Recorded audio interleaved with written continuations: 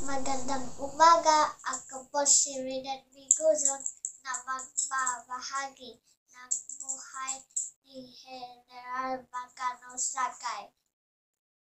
Si Macario Sakay o Macario de Leon Sakay ay ipinanganak noong September 1817 sa Cayenne, Tabora, Tondo, Manila.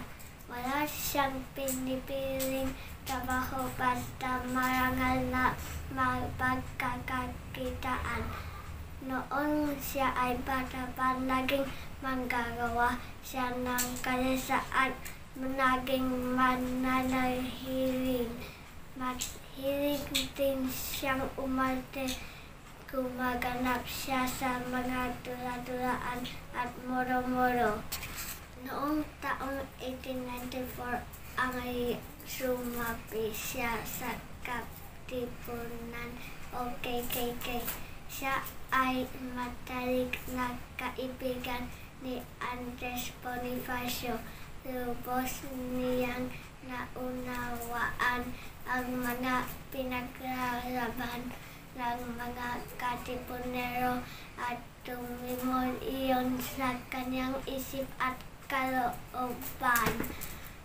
Na, naging pangulo siya ng sangay sa Dapitan dahil naging mahusay siyang leader ng kanyang mga nasasakupan. Matapang at po ang loob. Nahirang siyang maging pinuno ng hukbo sa Katagalugan. Nang madakip si Emilio Aguinaldo noong taong 1901, ipinagpatulog ni Macario Sagay ang pagkikipaglaban at pagkikibaka. Itinatag niya ang Republika ng Kapuluang Tagalog.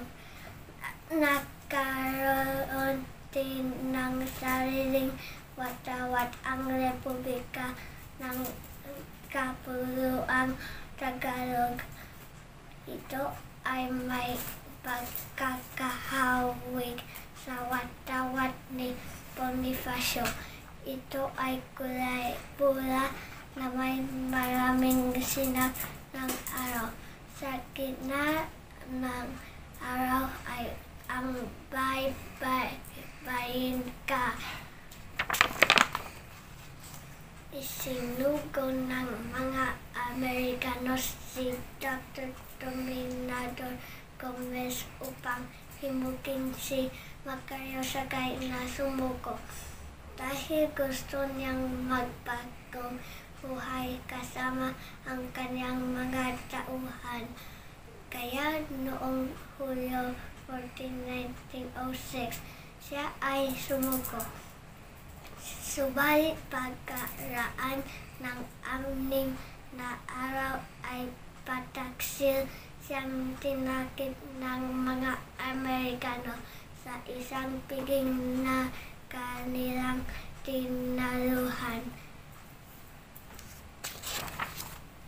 Dinala siya sa Old Philippine Prison na ngayon ay kilala sa tawag na New Philippine Prison.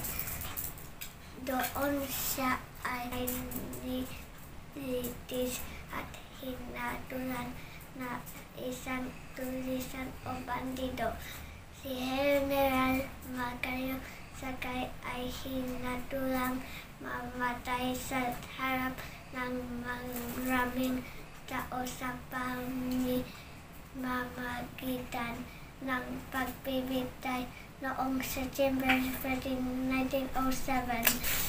Sa harap ng kamatayan, nag-iwan si Macario Sagay sa ating ng ilang huling salita. Lahat tayo mamamatay. Tinatanggap ko ang aking kamatayan ng bukal sa aking kalooban. Ngunit gusto ko lang malaman ninyo na hindi kami mga tulisan. Gaya ng paratang ng mga Amerikano. Kami ay mga kawan ng tanggol sa ating inang bayan. Hindi kami mga tulisan, kundi mga kawal ng Republika. Mabuhay ang kalayaan.